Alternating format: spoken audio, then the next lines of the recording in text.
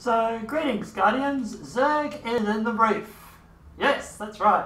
He is in the reef and in his little hidey hole. So, let's check out what he's got and, yeah, go from there.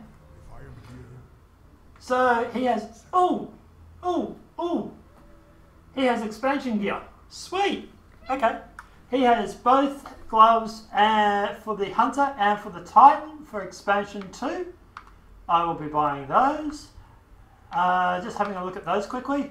Uh, taking damage from melee attack deals damage in an area around you. Okay, it's like a shockwave sort of thing. Sounds interesting. Uh, more super energy from melee kills.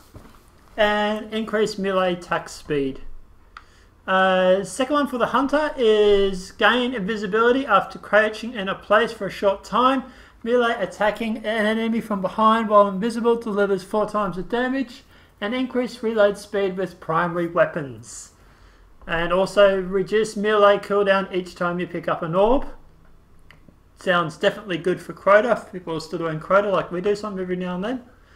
Starfire Protocol, um, which is a fully version 3.0 as well, but still expansion 1.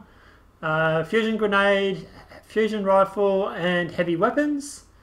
Uh, he's selling Hard Light um, for anybody that doesn't have it. Obviously, uh, definitely uh, Definitely one for the collection. It's not too bad.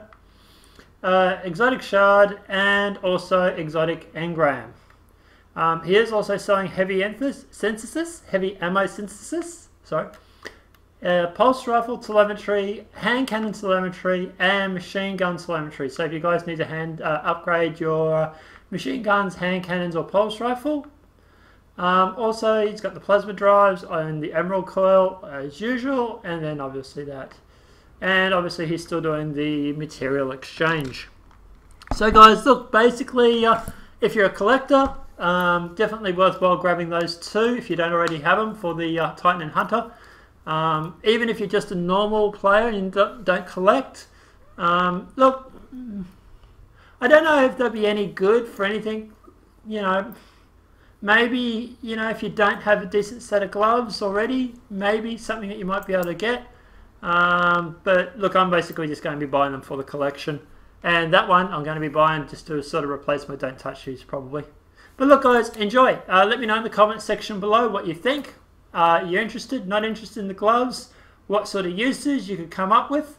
Apart from that, enjoy Xur, enjoy House of Wolves, and enjoy Prisoner of Elders. Thanks guys, have a great day.